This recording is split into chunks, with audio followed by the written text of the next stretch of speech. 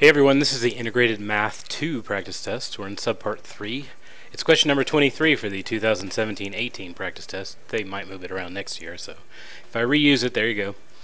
The graph shows the population of rabbits in a certain area as a function of the time in years.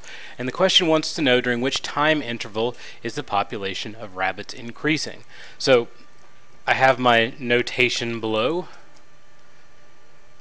I'm going to look at from 0 to 5, so from here to here,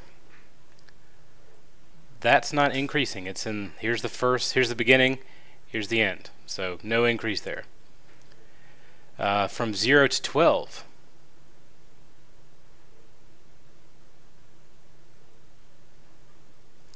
it does eventually go up, so that's looking okay. But it's not constantly increasing. It's just increasing at this point, so we have to consider that from 12 to 15?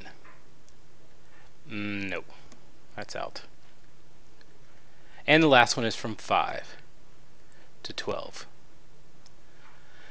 So when they ask this question and they give you two answers that can be a little bit um, questionable, like which one do you really pick? Because the average rate of change from 0 to 12 is an increase. The problem is it's not constantly increasing, and they want to know during which time interval is the population increasing. So here it's not increasing at all. So I'm going to go with the thing that sells that story as much as possible, which is from 5 to 12. So my answer for number 23 is B. So unless if they ask you about average rate of change, you can start at the beginning and look at the end. But if they want to know about particular intervals, what's happening throughout the interval, you have, may have to be a bit more precise in how you answer the question. So be careful and don't just, so for instance, if this 512 had been C instead of B, you might have jumped on the bandwagon of 0 and 12.